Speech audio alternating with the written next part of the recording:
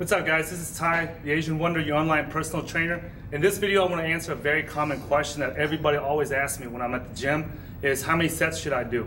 Now, if you're a beginner, right, you shouldn't have to do more than four, five, six sets, right? Six sets is probably the most that you have to do.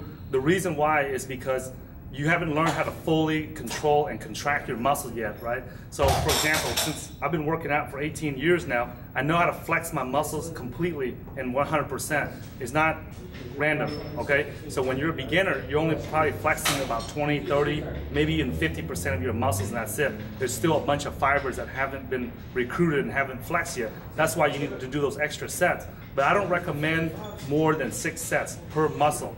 Uh, and that's like for the big muscles, such as your back, your chest, your legs, your hamstring, your butt, any of those. You shouldn't do more than six sets.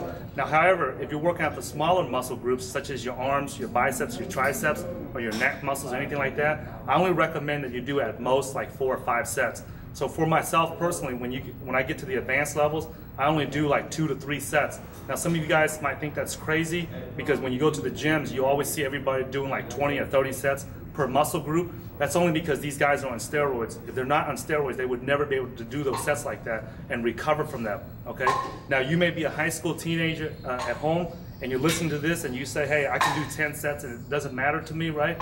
The goal is not to do as many sets as you guys can, okay? The goal is to just do just enough amount of sets to activate the muscles and to uh, ignite it and to initiate muscle growth. Once you initiate it, the muscles actually grow when you're resting and you're eating, not when you're lifting weights, right? So right now, if you're a beginner and you've never worked out before or you haven't worked out in more than three to six months, I would recommend that you do no more than five at max, at max, six sets per muscle group.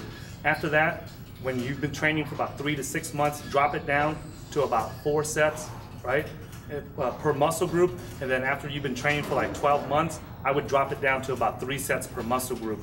Uh, for myself personally, because I'm able to contract my muscles completely when I'm training, I only do at most two sets or at max three sets. So for example, when I train my thighs or my back, when I do squats, I'll do like two to three sets, depending on how I feel that day. And when I do deadlifts, I'm doing it with like four or 500 pounds, so I'm only doing two or three sets as well. So as you can see, when I'm training with the bigger muscle groups and I'm doing a lot more amount of weight, then I don't have to do as many sets okay?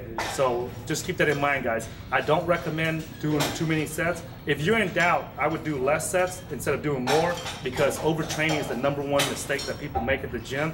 And it's better to be undertrained and grow muscles than to be overtrained and get your body into a catabolic state and actually get yourself to lose muscle, all right? So be careful about that, guys. And I hope that answers your question because I get that comment a lot and everybody's emailing me about that. So I hope that answers everyone's questions about how many sets that you need to do.